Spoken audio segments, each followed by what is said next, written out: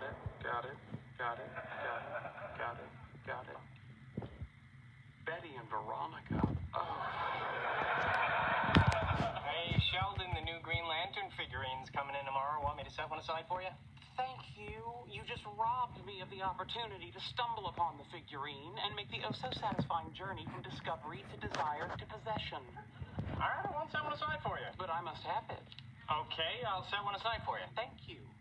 You know, I can buy all these things online. I come here for the personal service.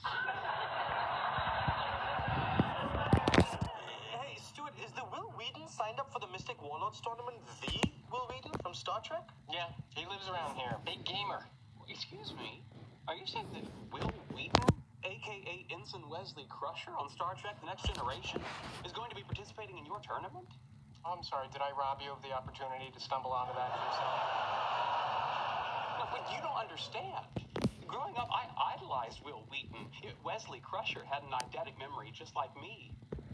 Oh, what a coincidence. Maybe you can discuss that with him while you're playing in the tournament. Sign here.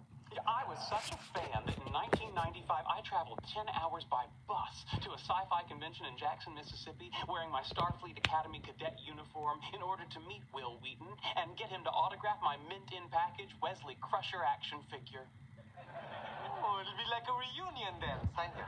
Yeah, My arduous journey, however, was for naught. Although advertised to appear he did not show up, it was at that moment I vowed eternal hatred for Wil Wheaton. Okay, great. You can tell him you hate him. Sign here.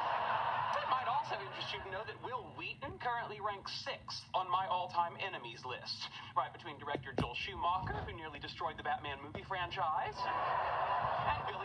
and who lived down the street from me and put dog poop on the handles of my bicycle.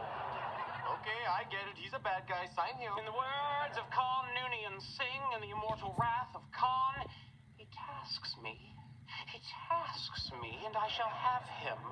Oh, no doubt. Sign here. From hell's heart I stab at thee. All right, Raj.